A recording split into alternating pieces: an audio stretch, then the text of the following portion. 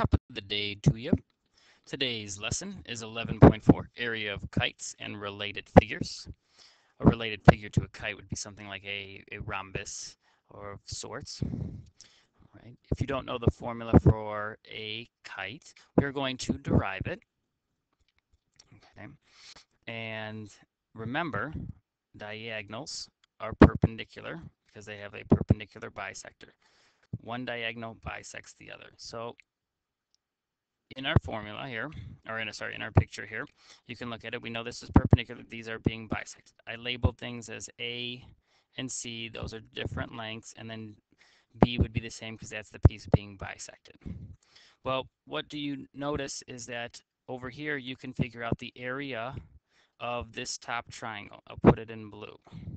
So the area of this top triangle is half base, which is 2b, times the height of A.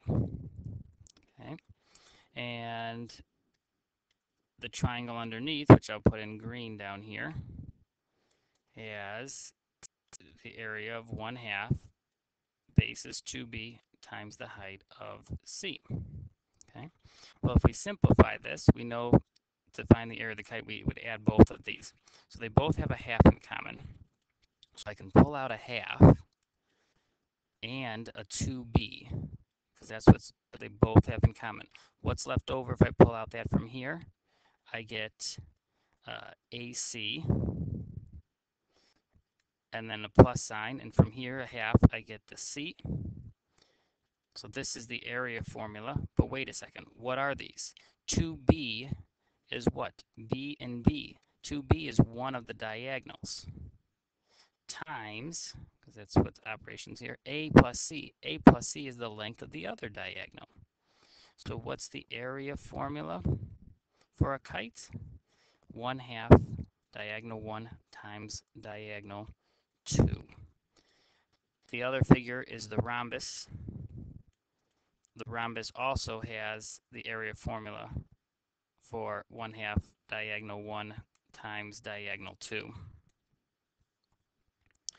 or the rhombus has the base times the height, which we learned from unit 11.1. Questions? No? Let's proceed on, as Mary Poppins would do in the movie. She says, let's go fly a kite up where, you know, you could sing along. All right, so here we go. So we look at this. It says find the area of the kite. We know the formula. Write it down first. 1 half diagonal 1 times diagonal 2. What do we know? It's a perpendicular bisector. So this piece is congruent to this piece. I would I don't know either one of those. So I call one of them x. I'll call the other one x. All right. What do you notice here? This is back from 9.3, whether you like that section or not. This triangle right here is a right triangle. This line is an altitude drawn to the hypotenuse. So what rule do you use? You use the altitude drawn to the hypotenuse rule, meaning you're going to be setting up a proportion. What is the shared side between the three triangles, small, medium, and large one? Oop, it's the side in between. So that'll go in spot two and spot three. The base of the small one, because that's what we're comparing, to the base of the medium one. And then we cross multiply to figure out that the missing piece is plus or minus 6, but can this length be negative? Nope. So the answer is just 6. So now we know this piece is 6, this piece is 6. Can we find the area? Sure can. One diagonal was 3 and 12, which makes 15. The other diagonal is 6 and 6, which is 12. Multiply it together, take half of that. Final answer is 90. And once again, we put units squared. Yes, you will need to know the altitude of hypotenuse rule for the quiz, test, final, rest of the school year, and so on. Moving on, number two, find the area of the kite once again. Okay, well, what do we know? It's a perpendicular bisector. We know the formula, the area formula is 1 half diagonal 1 times diagonal 2. We know it bisects, so these are the two congruent ones. So we got 12 and 12. So we know one of the diagonals is 24. We need to find the other one. Well, let's look at it. I see a right triangle right here. We're not using the altitude hypotenuse rule because there's no right angles in these corners in this question. But what can we do? We look at it and we say, oh, Pythagorean theorem. 13 squared is equal to 12 squared plus x squared. Or those of you that love your triangles, it's a blank 12, 13, which ends up being 5 for this top one. And the bottom one underneath it here, I see a side of 15, I see a side of 12, right angles there. So you could either do Pythagorean theorem again and say 15 squared is equal to 12 squared plus x squared, or no, it's a 3, 4, 5 multiplied by 3. So we got 9, 12, 15. So this length ends up being 9 here. Now do we have enough? Now we could jump into our formula. We got 1 half. Diagonal 1 is 12 and 12, which you said was 24. Diagonal 2 is 9 and 5, 14. Multiply it. Final answer, 168 units squared. And that is your final answer. Lock it in. Question three. The rhombus with a perimeter of 68 and one of the diagonals of 16. We want to find the area of the rhombus. Okay. Well, we said it's a related figure to the kite. So it has two different formulas. The rhombus, you can either find the area, once again, I'm pointing this out, as 1 half diagonal 1 times diagonal 2. Or the other way is base times height, okay? Depending on what they give you is which formula I would use. If they give you a diagonal in the rhombus, use this formula right here. If they give you the height to the rhombus, use this formula here, okay? So in this case, they're giving you that one of the diagonals is 16. So if I draw a picture like I was telling you to right here, we know that each side is congruent. The diagonals are perpendicular and bisect each other. One of the diagonals was 16, so we got 8 and 8. We knew that the perimeter was 68. There's four sides and they're all congruent, so that's 17 apiece. So 17 all the way around each side. Okay. So then what can we do? We can now say we can either do Pythagorean theorem or know that uh, this is a 8 blank 17 triangle, and the answer is 15. So now we know that this side is 15 and 15, so we can find the area of the rhombus. Rhombus is half. Diagonal 1 is 16. Diagonal 2 is 15 and 15, 30 and your final answer is 240 units squared. The next question says, now find the height of the rhombus. Well, all you know from the rhombus, if you were to draw it with the base down, is that the base is 17. Each side was 17. I told you not to use the slanting side for it. You can't do that. You have to use the height that goes straight up and down, which is perpendicular to the base. So right now, I don't know what's going on. But what did we learn from A? We learned from A that the area was 24. And we know that there's two formulas. So why can't we say area equals base times height?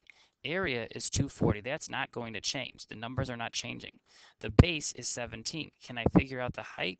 Sure can, because what are you going to do? You're going to divide by 17, and the height is approximately 14.12 or 14 and 2 seventeenths. Either answer would be accepted. Make sure you're rounding to the nearest hundredth like we've been doing um, in this unit. We doing all right? Need to take a break? If you do, and you need to take a break, like the Nintendo Wii tells you, pause this, go get some water, take a quick break, and then come back for the last one because it's going to be a challenge. Number four, find the area of the kite. Draw a line in to draw your perpendicular bisector inside. What happens is, is this 60 degree angle just broke up into 30 and 30. This 90 degree angle broke up into 45 and 45. So what I notice is that these triangles over here are 45, 45, 90. These triangles on the right are 30, 60, 90 triangles. Okay. We want to find the area of the kite. So once again, we need the formula 1 half diagonal 1 times diagonal 2. Okay. The only numbers I see is over here. So what we can do is we can look at this and say, okay, we have this triangle over here, which is a 45, 45, 90. The 4x ends up being across from the 90, so that's the x root 2 side. These sides would be the x and x. So we said 4x equal to x root 2 divide by root 2, right? And then we can't leave it there, so we multiply top and bottom by root 2. So we get 4 root 2 over 2, which is going to be the, the piece that you, you need. Okay, so what did we say? We ended up with 2 root 2 x. So what spots are 2 root 2x? Let's highlight them. This would be 2 root 2x. This would be 2 root 2x. This side would be 2 root 2x because those are all connected to the 45, 45, 90. Now when we look at this triangle over here, we see across from the 30, we know is four, uh, 2 root 2x. So then what we do is we can say, okay, wait a second. We need to find the um, the 90 side, or no, no, sorry, we need the 60 side, which is over here. And that's the x root 3 side. So we put 2 root 2x in for the x root 3, multiply these out, and what do you get? You end up with 2 root 6 for this length right here. So we have one diagonal, which is 2 root 2x and 2 root 2x. So you add that up, that's 4 root 2x for diagonal 1 and the other diagonal is 2 root 2 x plus the other diagonal, which is 2 root 6 x. Okay, and we're taking half of that. Well, what do we do? We try and figure this out from here. So to finish it up, what I would do to make things easier, I would take half of this. So this would be 2 root 2x and then we're multiplying by 2 root 2x plus 2 root 6x. So basically distribute this, and 2 root 2 times 2 root 2, that's 4 root 4x squared. So in other words, that's 8x squared. And then plus 2 root 2 times 2 root 6, that's 4 times root 12, and breaking up root 12 is 4 and 3, so you can pull out a 2, and that makes this as 8 root 3x squared. So you can leave your answer as 8x squared plus 8 root 3x squared unit squared, or take out an x squared and leave it as 8 plus 8 root 3 units squared. I know it's challenging because the x was in there. If the x wasn't in there, it would still be the same thing with the numbers. It's meant to be challenging. Good luck to you. We will see you tomorrow in class.